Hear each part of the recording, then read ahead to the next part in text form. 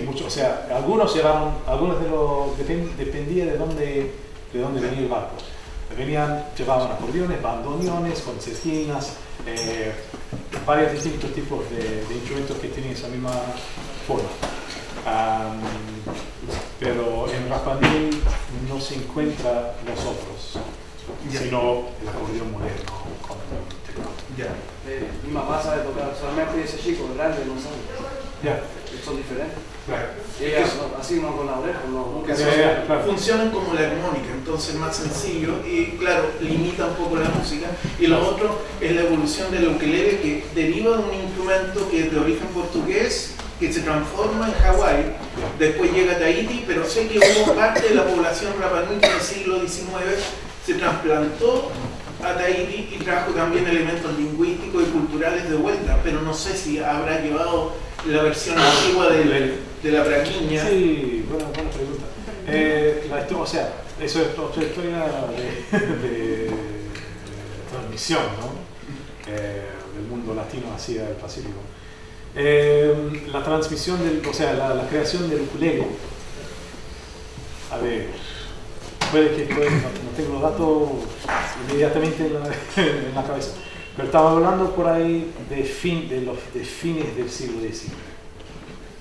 Eh, No las plantaciones de azúcar de Hawái llegaron los portugueses en 1850 y tanto y ahí Claro, se adquirió claro. el ukelele, Pero- pero, se transformó. Sí, pero y luego a Tahiti no sé en qué fecha, pero en fines del siglo XIX y justamente en el periodo donde había población Rapanui viviendo en Tahiti. justamente. Pero la, la- o sea, la transformación de la braguiña hacia el ukulele tiene una historia clara. O sea, que lo pude buscar. Eh, que está bien, bien, bien eh, preservada en la, en la historia oral y escrito eh, hawaiano. Um, y, pe- y seguramente, y viene, viene mucho después de los años 50, está de los 70 para arriba, yo creo. Pero, pero para volver a la, a la pregunta, eh, no sé, o sea, puede ser, eh, pero lo que sí se, se nota a través de las grabaciones es la falta de presencia del. Vamos, tenemos más preguntas Sí, por sí, sí, acá. sí. Mi inquietud tiene que ver con el sentido de la música en- Ya. dentro del contexto de la historia de Rapa Nui, porque cuando, cuando sostuve larguísimas conversaciones con Kiko Paté, con Ya. Luis Abaca, eh, quedé fuertemente impresionada porque en la hilación de su relato era la música. No sé si es, y eso es lo que quiero que me aclare, si es la deformación particular del hecho de que él era músico por esencia, pero lo que él contaba de las décadas del 30, 40, 50, 60, contaba el relato de la mitad de la historia y estábamos cantando esa canción. Y contaba un hecho dramático y cantaba la canción del hecho dramático que había ocurrido. Entonces, yo quedé fuertemente impresionada en el sentido que, de que Rapa Nui es un cronista eh, musical capaz de reconstruir su historia con música, más allá de la forma que adquiera ese, ese canto o esa expresión de, de la música popular. ¿Lo ve así? Estás, estás eh, describiendo una, una tendencia que existe en toda la Polinesia, no solo en Papua, sino en otras partes también. Que la música ha sido desde, desde el principio su libro de historia, su forma de grabar lo que ha pasado a su pueblo. Eh, la ley. ¿ya? Eh, el fue- la fuente de información eh, sobre la pesca, la navegación, eh, otra cosa también. O sea, que es, es, una, es, una, es una cultura compartida entre toda la gente de la Polinesia, incluyendo a los. Pero en ese Eh, sentido las investigaciones, las recopilaciones podrían eh, de alguna manera estructurar un hilo argumental de la historia. ¿Sería capaz la investigación eh, en, en general de, de- de hacer ese relato musical, Ah, a través ya. de relato musical reconstrucción de la historia? ¿Se ha Sí, hecho algo sí, en ese sentido? sí.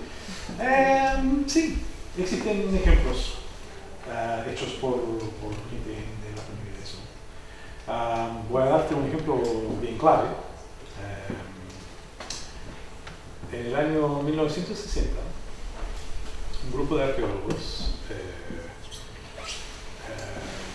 restauraron a un ajo, que se llama ajo aquí, el ajo de los siete muertos. Y eso fue, bueno, eso fue llevado, creo que se fue llevado a cabo por Malloy, ¿no? Sí, claro. Eh, William Malloy. Y que había ido antes a la isla como parte de la expedición de Harvard.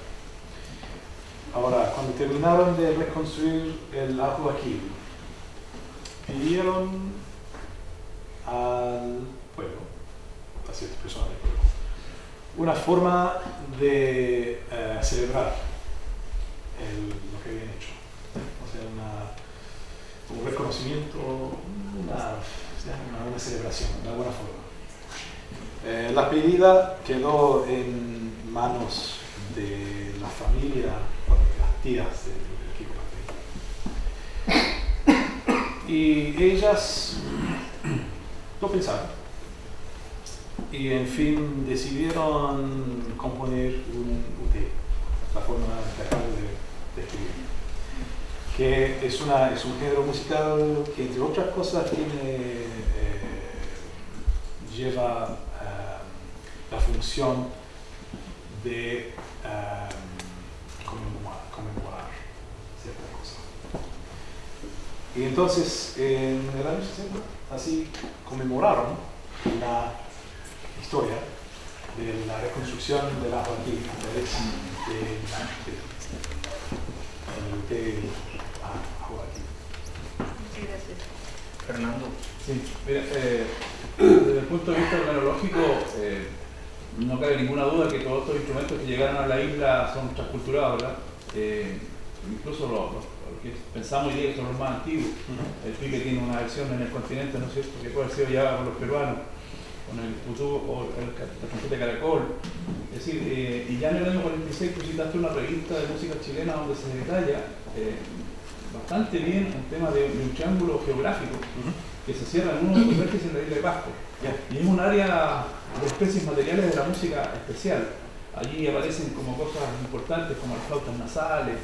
Es decir, eh, pero mi pregunta apunta un poco a tu quehacer, es decir, ¿por qué el quehacer científico no ha entrado en este tema? Nunca ha tomado la cronología como un elemento serio de poder entender esta música que surge allí, ¿cierto? Siempre hablamos de la, de la producción total, pero tú, tú tocaste ahí tangencialmente eh, el hecho de, de transculturar una guitarra, transculturarla, es decir, eh, llevarla a las formas propias, es decir, la geografía, el clima, eh, lo que él observó, ¿no es cierto? Y lo pudo pero ¿por qué no hay que ser científico? Y eso te cuestiono yo un poco, ¿y por qué no lo hacen? Decir, no, no lo entiendo, no, nosotros no, tenemos- no hemos tenido nunca la posibilidad de acceder a un, a un texto, ¿no es cierto?, guía que nos permite entender qué instrumentos estuvieron antes de esto. O sea, la transculturación se acepta, ¿no es cierto?, pero hay grados de aprendizaje, hay grados de, de aceptación, hay grados de, de vivir en medio. Las piedras, ¿no es cierto?, surgen porque es un elemento que está en la, en la cima de la, de la montaña, está en el fondo del mar, está en la, en la alameda hoy día, Pero e- e- ese es el asunto, o sea, ¿por qué no hay un trabajo científico real que hable de las especies materiales y que podamos identificar una música con un cierto origen? Buena pregunta. Eh, bueno, no sé si, no sé si lo puedo contestar. Eh, mira, eh, con respecto a Rafa Nui, mucho de eso se ve en el trabajo de campo.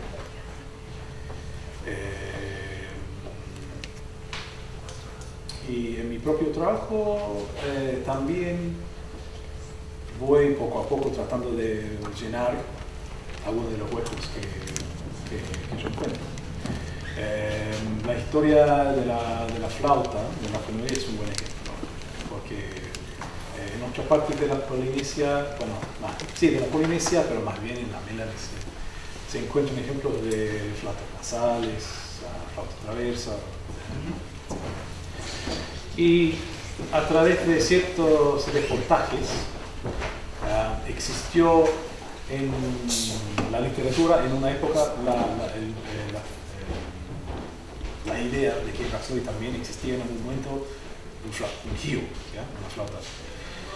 Eh, pero no hay, ah, no hay evidencia arqueológica, o sea, como en otra parte donde se han encontrado flautas en Aponomino. Eh, lo más probable es que, o sea, lo que se, segui- ah, según las ah, memorias de cierta, cierta gente antigua, ah, hubo una época en que todo el mundo iba yendo haciendo flauta- flautas ah, con eh, pedacitos del, Caña. de caña. Bueno, no de caña, sino de, de la papaya. Porque si tú te, te sacas eh, la rama de la papaya, verás que eh, bueno, está, está vacío por, por dentro y verás que tiene como una boquilla. ¿ya? Am, entonces, en, un- en una época iban, iban gente haciéndose flautas con, con eso. Am, pero igual, la papaya es una planta introducida después del, del contacto. Así que, bueno, es una historia que, que no tiene solución, pero ya, adelante. Esa cosa que estaban hablando de la concha de los traen de Perú, ya, ya existía, pero no eran conchas, eran piedras. Ya, es otra cosa. Bueno, una piedra se llama Pugo Giro, que existió hace mucho tiempo, y hay piedras más pequeñas así que algunos de nosotros tenemos por ahí.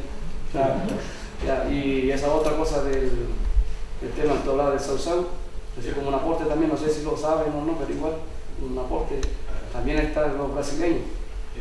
Porque hay una canción que dice, o te capítulo pini, de Tula de Quinagua y todo eso, y eso en realidad dice, tenga cintura fina, cintura de pilón, tenga medio corazón, pero nosotros no sabemos brasileño, así que lo traducimos al rapano y chamullado, y sale una letra que ni nosotros mismos, la generación de hoy día, no entendemos. Y después, cuando, por suerte, mi esposa es brasileña y ella se sabe la canción y sabe el origen de la ciudad, del norte de Brasil. Ya, y, también el tema del ukelele, el ukelele de Portugal, ya fue por Brasil, unos marineros que llegaron a, a la isla en ukelele hace mucho tiempo atrás. Y hay dos tipos, que el ukulele y el ukelele que hay allá en el norte de Brasil también. Yo no sabía. Y hay cosas interesantes todavía hay por descubrir. Siempre. Por eso lo. La señora tiene una pregunta. ¿Podremos escuchar algo de música tradicional? Ya. Antigua. Si yo. Antigua. La- la- Eh, ¿Quieren escuchar algo en vivo o algo grabado? Porque tenemos. Él no canta. Porque era